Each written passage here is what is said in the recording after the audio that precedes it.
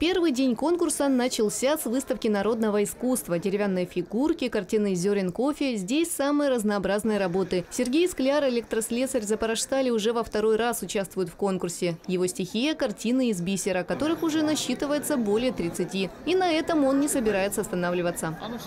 Я вначале э, начал бисером заниматься, э, на проволочке знаю, так, деревья делал, цветочки.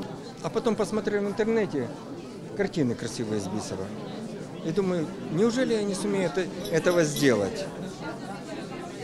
Попробовал первую картинку, взял э, э, этого Николая, Николай Чудотворец.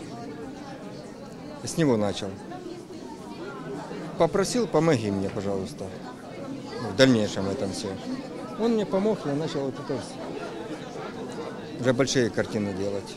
После выставки народного творчества программу первого отборочного дня продолжили художественные коллективы комбината. Дарья Паюс, сотрудница управления контроля качества Запорожстали, уже не в первый раз участвует в мероприятии. В прошлом году она показывала восточные танцы и сейчас решила удивить жюри танцем в стиле свинг.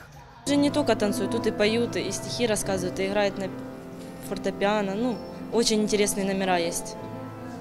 Так что тут очень интересно. Для всех металлургов новый сезон конкурса талантов является возможностью открыться публике и получить свою минуту славы. Поэтому участники первого отборочного дня очень трепетно отнеслись к подготовке своих номеров. Репетируем постоянно, у нас репетиции где-то там месяц-два, то и три раза бывает, смотря как э, по надобности. Ну вот в связи с фестивалем чуть чаще было репетиция. Хор каждый год получает свои награды, но для ветеранов производства это не главное.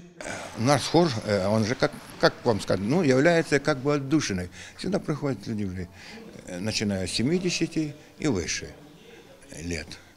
Э, Здесь просто дело, люди ищут отдушину. Попеть, пообщаться. Для нас это самое важное, я считаю, в жизни.